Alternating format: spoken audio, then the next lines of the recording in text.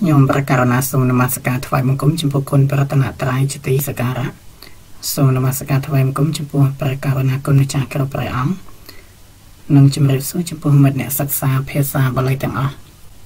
នៅក្នុងថ្ងៃនេះយើងចូលទៅសិក្សាបញ្ចប់នៅគោលប្រែពួកទី2ត្រង់របៀបទី3ឬក៏ចំណុចទី3ដែលដែលលោកប្រើវឹកកហៅប្រែថារីវិគ្រោះចឹងនៅក្នុងគោលប្រែពួកទី2នេះគឺ បែបសម្រាប់ប្រកបប្រែនឹងស័ព្ទដែលចុះសត្វថ្មីវិផតហើយតាំងនៅតែមួយបទចឹងចំណុចនេះយើងបានសិក្សារួចមកហើយឬក៏តាំងនៅក្រោយនៃបទតាំងតែទីបំផុតនៃបទកែមិនមានអតិស័ព្ទដូចនៃក្នុងគោលប្រែពួកទី1ទេគោលប្រែពួកទី2នេះតោងកំណត់ចំណាំគោលសង្ខេបទាំង3ថាចឹងមានប្រែថារីសេចក្តីរីវិនិច្ឆ័យរីវិគ្រោះ ហើយនៅក្នុងថ្ងៃនេះគឺយើងសិក្សាបញ្ចប់នៅ ត្រង់ចំណុចដែលប្រែថារីវិគ្រោះនេះឯងហើយម្យ៉ាងវិញទៀតក៏យើងតោងដឹងដែរថាតើរវាងវិនិច្ឆ័យហើយនិងវិគ្រោះនឹងវាមានលក្ខណៈខុសគ្នាដោយម្ដេចពីព្រោះដំណើរអដ្ឋកថាដែលលោកយកមកតាំងនឹងគឺវាមានលក្ខណៈតម្រងនឹងដូចគ្នាណា ចឹងយើងកលេចមកមើលចំណុចទី3នៃគោលប្រែពួកទី2នេះគប់3កំណត់ចំណាំដូចតទៅណាហើយអញ្ចឹងនេះជាគ្រឿងកំណត់ចំណាំទៅលើការតាំងវកហៈក្នុងការប្រែគោលអដ្ឋកថាពួកទី2នោះអញ្ចឹងយើងត្រូវតាំងវកហោមកហើយមានពាក្យក្នុងអតិសាបានិតេនៈវេតិតាពោណាចឹងនេះជាតម្រងទី3នៃគោលប្រែពួកទី2 ចឹងយើងមើលគ្រឿងកំណត់ចំណាំនៃចំណុចទី3នេះចឹងលោកថាអដ្ឋកថានេះលោកផ្ដើមកែសេចក្តីដោយប្រើរូបវកហៈសម្រាប់ពន្យល់វែកញែកឲ្យយល់នៅលំនាំនិងប្រភពនៃបទតាំងនោះនោះអញ្ចឹងតោងកំណត់ចំណាំថា ដំណើរនៃអដ្ឋកថានេះគឺលោកកែទៅលើបទតាំងហ្នឹងដោយប្រើរូបវកហៈណាគឺលោកយករូបវកហៈហ្នឹង មកប្រើសម្រាប់អធិប្បាយឬក៏វែកញែកមកលើបទតាំងនេះឲ្យដឹងថាតើដំណើរបទតាំងហ្នឹងវាមានប្រភពនិងលំនាំដូចម្ដេចដោយឡែកចំពោះវកហៈទាំងនេះវិញមានជាកេតនាមសមាសនាមឬតថិតអាស្រ័យទៅតាមបទនិងដំណើរសេចក្តីដែលលោកចង់កែណា ចឹងចំពោះរូបវកហៈនេះវាអាចមានជាកេតកៈក៏បាន ជាសមាសក៏បានឬក៏ថាជាតថិតនឹងក៏បានដែរសម្រាប់វិគ្រោះឬក៏វេកញែកមកលើបទតាំងនេះឲ្យដឹងថាបទតាំងនឹងមាន ប្រភពមានលំនាំនិងមានដំណើរនឹងចេញពីណាមកណាហើយប្រព្រឹត្តសេចក្តីនឹងទៅដោយម្ដេច អញ្ចឹងការតាំងវកហៈដោយអាស្រ័យទៅលើសមាសឬក៏កេតកៈតថិតនោះប្រព្រឹត្តទៅតាមលំអាននៃបទឬក៏ដំណើរសេចក្តីដែលលោកចង់កែនឹងនឹងចំណុចទី1ចំណុចទី2នៅខាងចុងនៃបទតាំងវិញ គឺបទតាំងនេះតែងមានបទថាអេថៈឬអ៊ីថៈនេះជាដរាបហើយបើទោះបីមិនមានក៏ត្រូវថែមមកដែរកាលនឹងប្រែតោងប្រើ បទថាវឹកកហៅដើម្បីវិគ្រោះវែកញែកក្នុងបទតាំងនោះអញ្ចឹងនៅត្រង់ចំណុចនេះណានៅត្រង់ចំណុចប៉ុណ្ណេះគឺវាដូចគ្នានឹងចំណុចទី2ក៏ប៉ុន្តែអ្វីដែលវាខុសនោះគឺនៅត្រង់ថាកាលដែលនឹងប្រែនេះតោងប្រើបទថាវឹកកហៅនៅក្នុងចំណុចទី3នេះគឺយើងប្រើវឹកកហៅឯចំណុចទី2លោកប្រើវិនិច្ឆ័យោ ដើម្បីវិគ្រោះវែកញែកក្នុងបទតាំងនោះណាដូច្នេះយើងធ្វើការកំណត់ចំណាំក៏ដូចជាកំណត់សម្គាល់ទៅក្នុងបទកែនោះថាតើនៅពេលណាយើងតាំងវិនិច្ឆ័យហើយនៅពេលណាដែលយើងប្រើវិគ្រោះនេះអញ្ចឹងយើងត្រូវយល់ទៅលើការកំណត់ចំណាំ នៅចំណុចទាំងពីរនោះទី1នៅក្នុងចំណុច វិនិច្ឆ័យនេះ ការបើយើងកលេចមើលទៅក្នុងអដ្ឋកថានឹងវាមានដំណើរប្រយោគដំណើរអធិប្បាយសាបឬក៏វិនិច្ឆ័យសាបនឹងប្រព្រឹត្តទៅជាប្រយោគធម្មតាវាអត់មានតាំងជារូបវកហៈជាការសម្រេចរូបដោយប្រើនាមកេតកៈឬក៏តថិតឬក៏សមាសនោះទេដូច្នេះនៅពេលដែលយើងឃើញ តម្រង់របៀបហ្នឹងឬក៏ដំណើរអត្ថកថារបៀបហ្នឹងនៅពេលដែលប្រែគឺយើងតោងថែមបទថាវិនិច្ឆយោដែលប្រែថាវិនិច្ឆ័យនេះទៅក្នុងបទតាំងនឹងទៅណាដើម្បីប្រែទៅលើបទតាំងនោះក៏ប៉ុន្តែប្រសិនបើយើងក៏លេខមកមើលអត្ថកថាហើយយើងឃើញអត្ថកថានោះលោកផ្ដើមកែដោយប្រើរូបវកហៈណាដោយប្រើការសម្រេចរូបដោយការអធិប្បាយរូប ដើម្បីប្រាប់លំនាំឬក៏ប្រភពនៃបទតាំងនោះណាដូច្នេះនៅក្នុងការប្រែបទតាំងនោះ យើងតោងថែមវកហៅដែលប្រែថាវិគ្រោះនេះ ទៅក្នុងបទតាំងនឹងនឹងសង្កេតក្រឡេកមើល តាមនឹងពិនិត្យមើលតាមនឹងទៅនឹងអាចយល់បាន នៅត្រង់ចំណុចទី2និងទី3នៃគោលប្រែពួកទី2នឹងហើយហើយចំណុចទាំងពីរនឹងវាជាកលឹះសំខាន់ ពីព្រោះនៅក្នុងអដ្ឋកថានឹងលោកមានប្រើដោយច្រើនដែរណាហើយក៏ជាដំណើរសេចក្តីមួយដែលអាចធ្វើឲ្យយើងច្រឡំគ្នាដែរមិនដឹងថានៅពេលណាដែលត្រូវប្រើវិនិច្ឆយោហើយនៅពេលណាដែលត្រូវប្រើវកហោឥ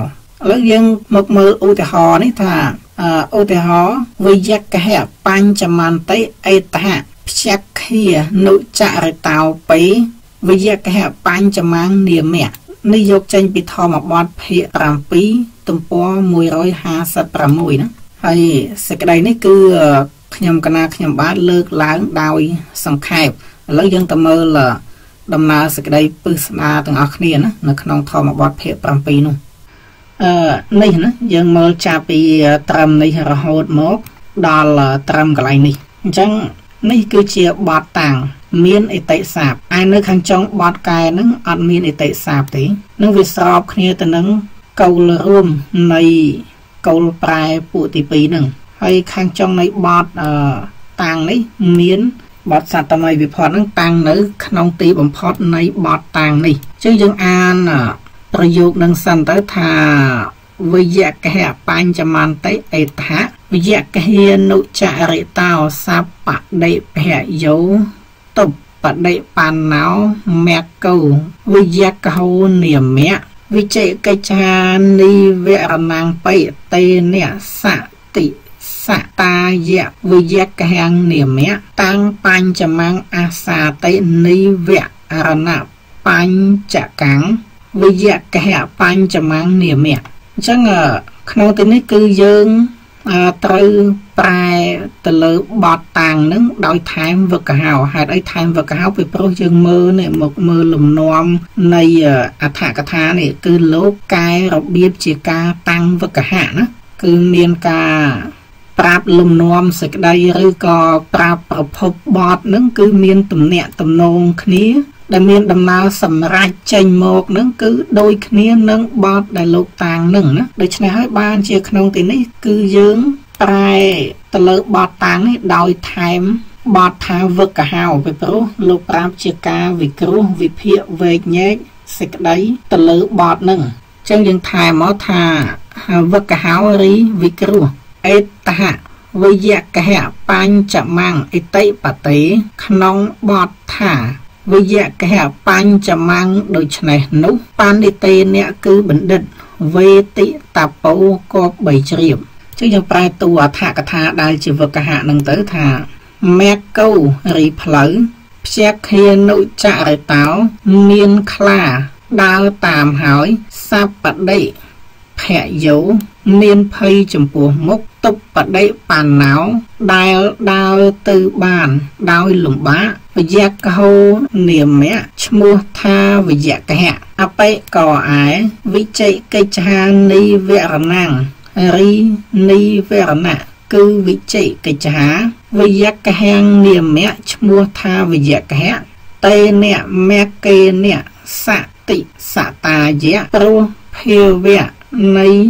និវរណៈគឺវិជិកិច្ឆានោះប្រកបស្មើដោយផ្លូវនោះ តាំងវិជិកិច្ឆានិវរណੰរីនិវរណៈគឺវិជិកិច្ឆានោះបញ្ចមង្គជាគម្រប់5អសវិយកហសៈនៃផ្លូវដែលមានខ្លាដើរតាមនោះ អតិប្រហេតនោះតាំងវិយកហង្រីវិយកហៈនោះវិយកហៈបញ្ចមੰឈ្មោះថាវិយកហៈបញ្ចមੰវិយកហង្រីវិយកហៈវិយកហៈបញ្ចមੰនិមៈឈ្មោះថាផ្លូវមានខ្លាដើរតាមជាគម្រោត5នៃវរណៈបញ្ចកាំងបានដល់នៃវរណៈមានពួក5 ចឹងនេះជាឧទាហរណ៍មួយ នៅក្នុងការតាំងវិគ្រោះនោះណាដែលទាំងអស់នេះគឺជាអត្ថកថាដែលលោកកែបែបតាំងវកហៈឥឡូវយើងទៅមើលឧទាហរណ៍មួយទៀតណាចឹងនេះយកចេញពីធម្មបទភាគ6ទំព័រ200ហើយយើងមើលកន្លែងនេះកន្លែងធីរោចៈសុកហៈសាងវាសោអេថៈនេះណាយើងមើលត្រង់ចំណុចហ្នឹងរហូតមកដល់ នេះប៉ុណ្ណេះអញ្ចឹងយើងអានប្រយោគនឹងសិនទៅថាទីរោចៈសុកាសាងវាសោតិអេថៈសុខោសាងវាសោអេតេណាតិសុខៈសាងវាសោបណ្ឌិតេនៈសត្ថឹងអេកតានេវាសោសុខោតិអថោ អញ្ចឹងបទតាំងនៅ ក្នុងទីនេះ គឺលោកលើកយកមួយបាតតែម្ដងណាកលែងធីរោចៈសុខៈសាងវាសោហ្នឹងគឺមួយបាតនៅខាងចុងនៃបទតាំងហ្នឹងគឺមានអតិស័ព្ទហើយមានសត្វមីវិផតហ្នឹងតាំងនៅ ក្នុង ទីបំផុតនៃបទតាំងនោះឯចំណែកខាងចុងនៃបទកាយនេះវិញគឺมันមានអតិស័ព្ទទេដូច្នេះកាលបើកលីឃើញទៅឃើញដំណើរ អដ្ឋកថាមាន លំនាំរបៀបហ្នឹងគឺវាស្ថិតនៅក្នុងកុលប្រែពួកទី2ហើយកុលប្រែពួកទី2នោះគឺចំណុចទី1គឺយើងងាយចំណាំទេចឹងវាស្ថិតនៅក្នុងចំណុចទី2ឬក៏ចំណុចទី3ហើយចំណុចទី2ប្រែថាវិនិច្ឆ័យចំណុចទី3ប្រែថាវិគ្រោះដូច្នេះនៅពេលដែលយើងចង់ប្រែជាវិនិច្ឆ័យឬក៏ជាវិគ្រោះតោងយើងក៏លេខមើលដំណើរ អដ្ឋកថាដែលលោកកែសិនប្រសិនបើមានទំនងនឹងគឺយើងថែមវឹកកហៅនឹងចូលទៅក្នុងការប្រែបត់តាំងនឹងទៅចឹងយើងប្រែទៅលើបទតាំងនឹងសិនទៅថាវឹកកហៅរីវិគ្រោះអេតហៈទារោចៈសុខៈសាងវាសោអតិគាថាបាតិក្នុងបាតនៃគាថាថាធារោចៈសុខៈសាងវាសោដូច្នេះនោះបណ្ឌិតេអ្នកគឺបណ្ឌិត វេតិតពោគប3ជ្រាបចឹងយើងប្រែតួអដ្ឋកថានឹងទៅថាសង្វាសោរីកិរិយារួមរស់នៅអេតេអ្នកធារេអ្នកដោយអ្នកប្រាជ្ញនោះសុខោជាហេតុនាំមកនៅសេចក្តីសុខអិតិព្រោះហេតុនោះអេសោធីរូរីអ្នកប្រាជ្ញនោះសុខៈសាងវាសោឈ្មោះសុខៈសាងវាសោធីរូរីអ្នកប្រាជ្ញ សុខៈសាងវាសោ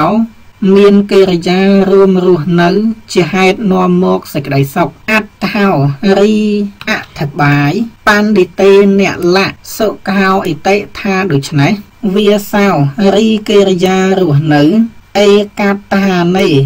ក្នុងទីតែមួយសត្វថឹងជាមួយបណ្ឌិតេអ្នកនិងអ្នកប្រាជ្ញសុខោហោតិជាហេតុនាំមកនៅសេចក្តីសុខអញ្ចឹង នេះអថោនៅកន្លែងនេះ គឺជាការអធិប្បាយ ដើម្បីលាតសន្ធឹងសេចក្តីនៃបទនេះឲ្យវាទលាយឡើងហើយអថោនៅក្នុងទីនេះយើងត្រូវប្រែថាអធិប្បាយណាដោយសារជាការពង្រីកសេចក្តីបន្តពីបទដែលលោកបានកែហើយឬក៏ដែលលោកពន្យល់មកហើយណាគឺលោក អធិប្បាយសេចក្តីនឹងបន្តមកទៀតឲ្យវាទលាយឲ្យវាច្បាស់លាស់ឡើងណាអញ្ចឹងអត្ថោកន្លែងនេះគឺស្ថិតនៅក្នុងគោលប្រែពួកទី1ចំណុចទី5ណាអញ្ចឹងការលើកឡើងនៅឧទាហរណ៍គឺមានប្រមាណប៉ុណ្ណេះហើយសូមបញ្ជាក់ថានៅក្នុងត្រង់ចំណុចទី2ហើយនិងចំណុចទី3នេះគឺសម្បូរប្រើដោយគួសមណានៅក្នុងអត្ថកថានៅក្នុងគាថានោះនោះដែលលោកយកទៅ វិគ្រោះឬក៏វិនិច្ឆ័យទៅលើសេចក្តីឯណានេះមួយក្នុងគាថាហ្នឹងគឺសម្បូរណាអញ្ចឹងការសិក្សាបញ្ចប់នៅគោលប្រែពួកទី2នេះមានប្រមាណប៉ុណ្ណេះហើយចុងបញ្ចប់នេះខ្ញុំកណាត់ខ្ញុំបាទសូមនមស្ការលាសសូមជម្រាបលានិងអរគុណច្រើន